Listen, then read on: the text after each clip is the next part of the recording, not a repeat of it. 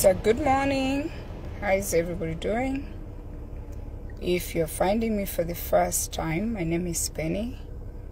I come here five to six days a week, and my goal here is to inspire you, to encourage you, and I hope um, you can listen and learn by the time you're done listening to me, and you will have learned something that can help you in your life. So if you've not liked my page, please do that. Um, I'm going to, that's what I'm doing right now. And invite your friends. And you know the beauty about social media for some of us, it has given us opportunities um, to do things that we could have otherwise not done in the past, meaning bringing our personal stories to you guys on your phone. We are not a news media, we are not um, on um, national TV. We just come here and talk to people, encourage, encourage people, regular people, right? And that's the beauty of it. There's an advantage and then there's a disadvantage because some of the people don't use these um, social media platforms well. So share this video, be nice to me, be kind to me, because you know what, as a mom and as an elder, I have learned that we um, we can't know it all. We learn from each other, and if we are learning from each other, uh, what we can do is sharing. Sharing is caring, and um, that is how we are going to grow. We are going to grow by sharing what we've learned uh, and letting people know some of the mistakes we've uh, made in the past. So uh, go ahead and share this video. And if you've not uh, subscribed to my YouTube channel, please do that because um, we want to reach the people who are out of our network who uh, are not on Facebook. Not everybody is on Facebook. So, okay. So we are doing this book, and today I'm talking from my personal page because I've been using the the other business page, but I, I, I realized that there are people who don't even know have another page. So today I decided to come on this page.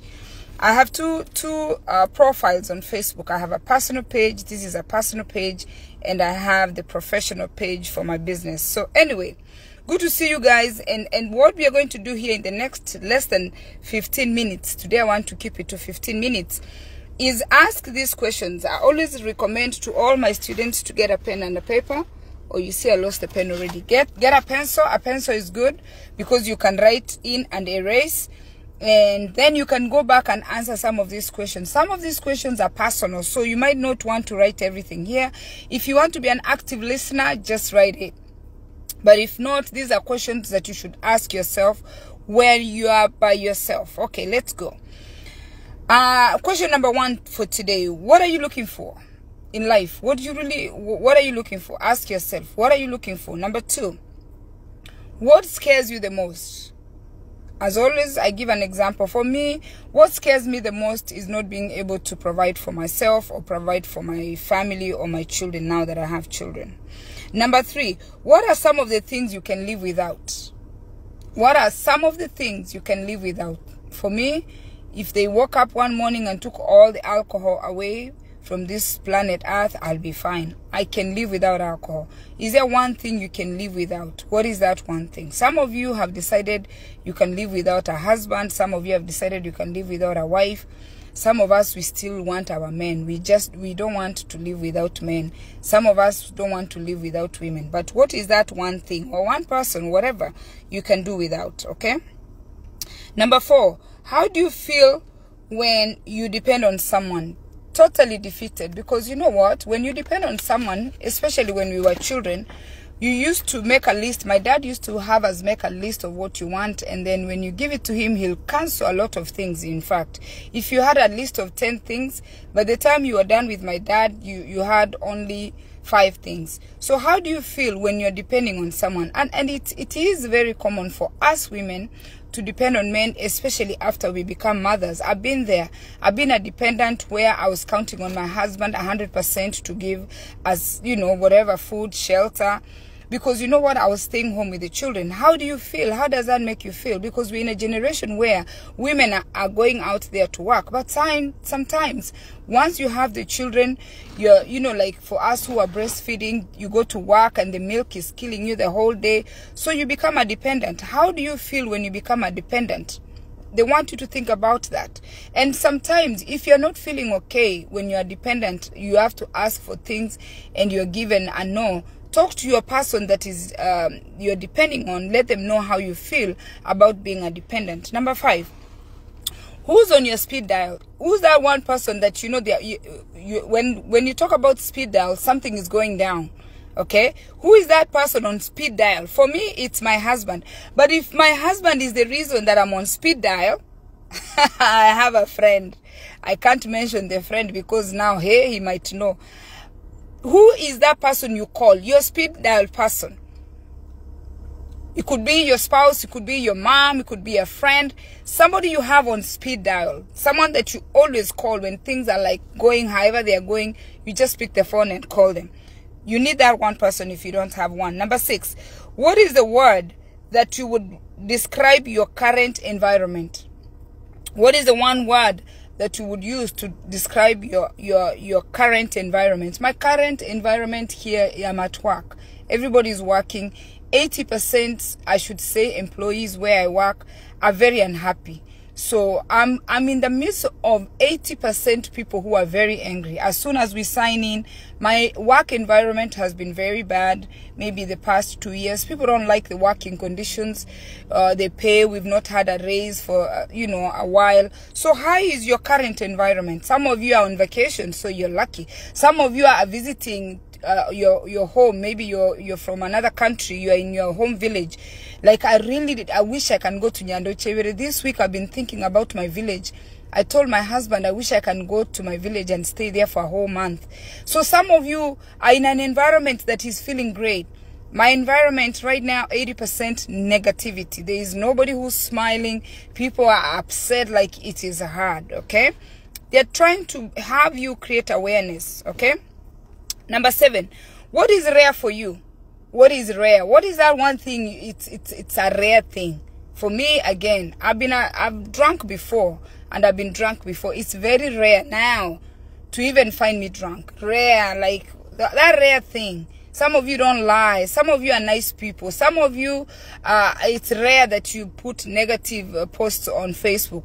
Some of you, it's rare that, you know, you even call your, your, your parents there are things you some of you don't do. It's rare that you spend time with your wife. When was if you're married, when was the last time you took your wife on a date and you just went the two of you and had lunch? Some of you uh, is rare for you to even tell your spouse I love you, you know? Just to even tell that person that is the mother to your children or the father to your children, I love you. It is rare for you to show affection. What are those things you rarely do? Think about them, okay? What did Lydia say? I call on God. He's the only friend I can trust. Oh, Lydia, you call on God. But Lydia, you need a human being. God speaks through man. Find one person that God can use to speak. Don't don't always yes, depend on God a hundred percent. You know you tell God first. Then you need a human being. I don't know, Lydia, where you are in your life. Some of us, if you're married, if you have children, if you have siblings, you need to have one person, one human being on speed dial Who's going to listen? This person has to be a listener. They cannot talk back. Sometimes you you you just want someone you just call and tell them the way things went down. And they listen, they don't even say a word. When you finish, you act like, oh, that was a good conversation we had. You know, you put we. You did not do we.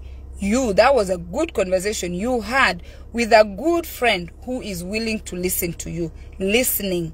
So, Lydia, find that one person that you can trust that you just call.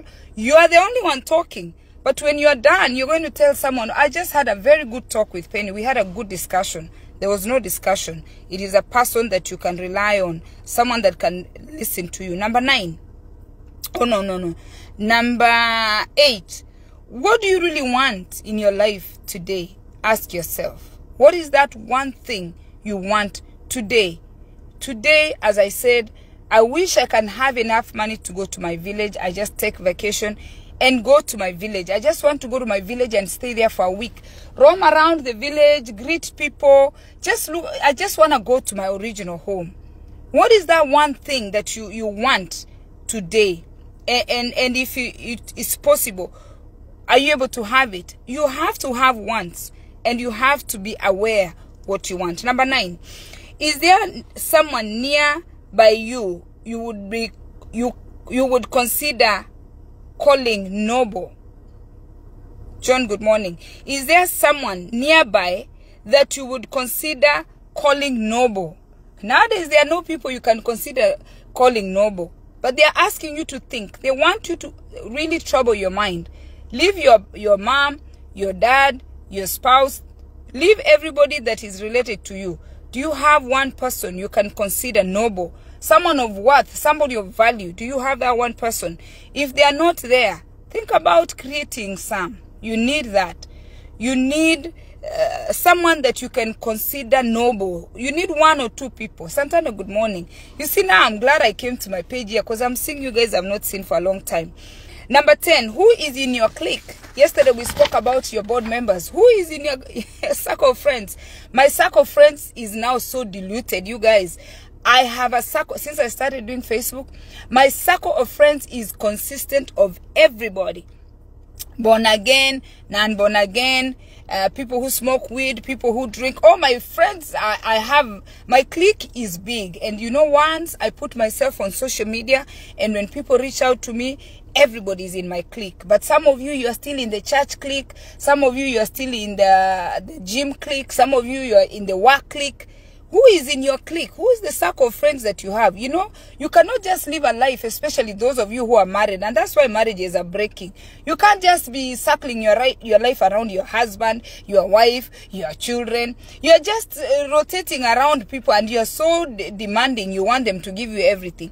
Your husband can't give you everything.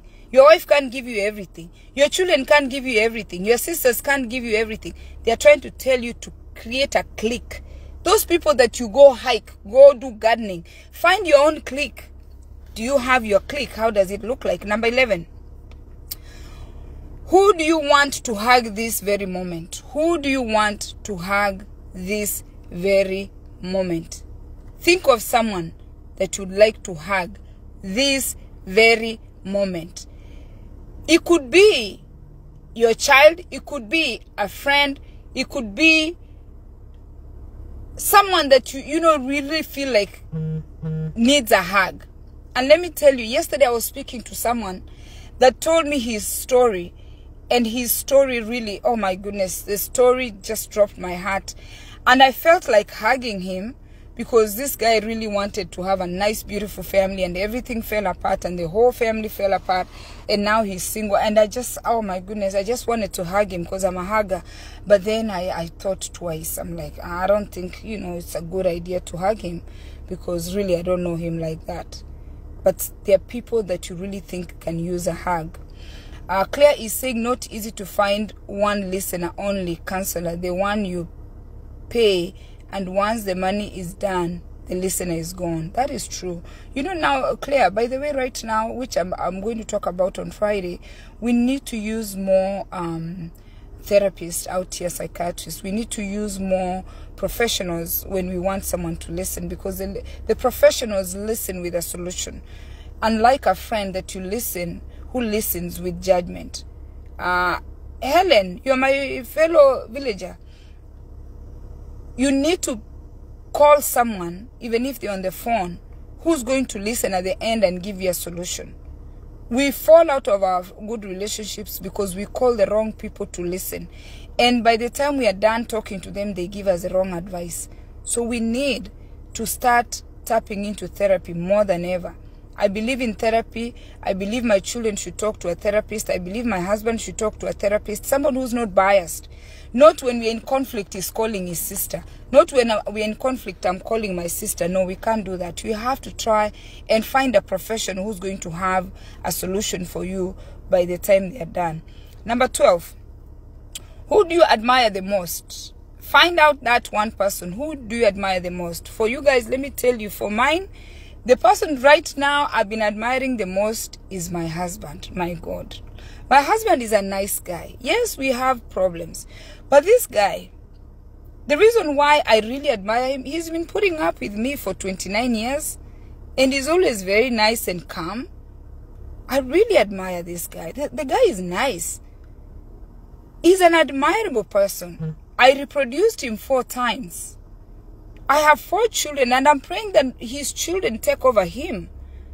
Because me, I want certain things for my kids to take over me, but his, I like a lot of his characteristics.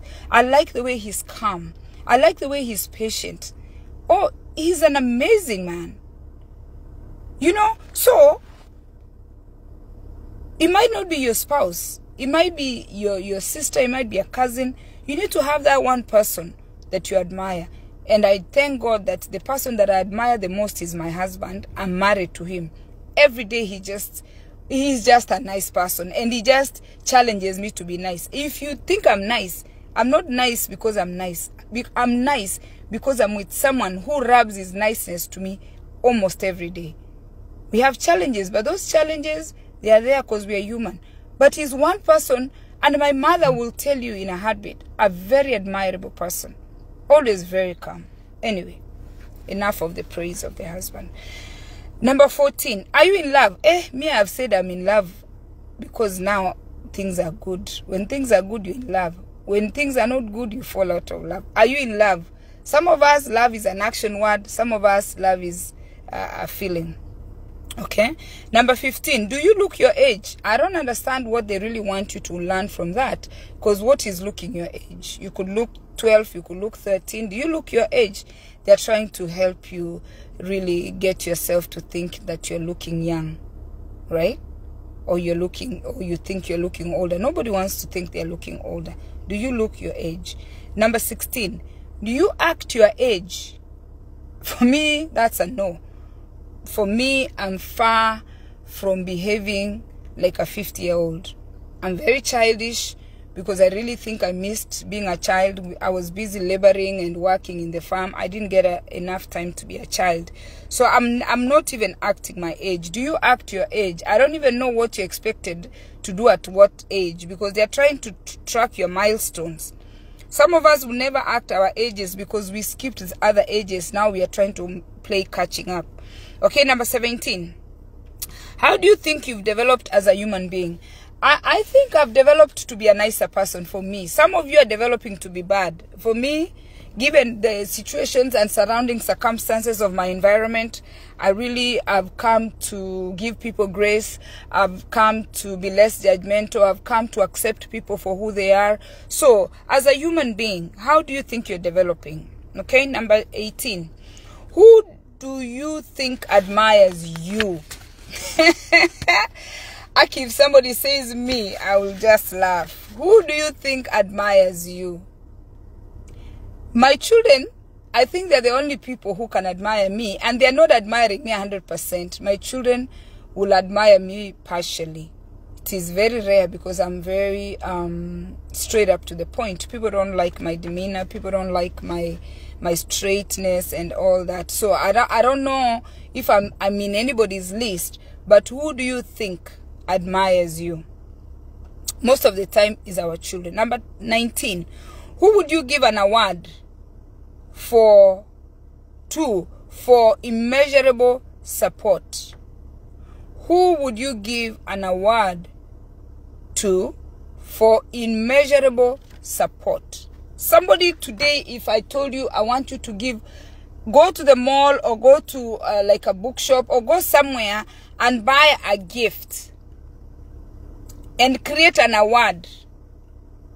Who in your circle of friends is going to receive or family the immeasurable support?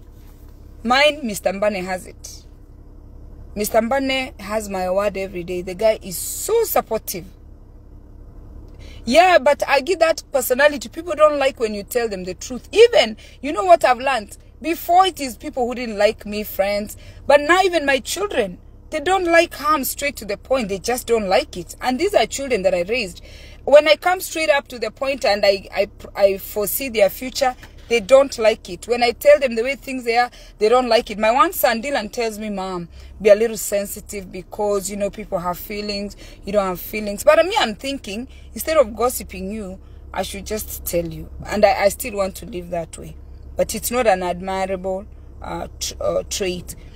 Who is that one person that you are going to give an award for immeasurable support? I use my husband a lot because he's the number one supporter. He's the person that chose to marry me and have children with me, and he's always my number one supporter. Endelea kupika Helen. Number 20. Do you wonder what it it's like to be a teenager nowadays? This one I really need for all of you who are watching, I really need a yes or no. Do you wonder what it's like to be a teenager nowadays? I just spoke about my village, how I, I thought I was busy working. I didn't have enough time to be a teenager. I don't know if you remember yourself as a teenager. They are trying to ask you. We are talking about people now who are older. They are not teenagers watching me. I'm assuming everybody who's watching me is 18 plus. That's what Facebook says. Do you picture what it's like? Or do you wonder what it's like to being uh, in uh, by to being a teenager right now? Have you taken time to put yourself in the situations of the teenagers right now? That's the question. The teenagers right now are going through a lot, but have you taken time to ask yourself or to imagine what it, it, it feels like to being a teenager right now? And if you have a teenager, do you ever sit with your teenagers to even um, ask them what they are going through, how they are feeling? Think about that. What does it feel right now? How are you imagining right now a teenager is feeling with everything that is going on? Thank you for watching. I hope you listened because this was just listening. I was just talking, and some of you have been talking back through the comments.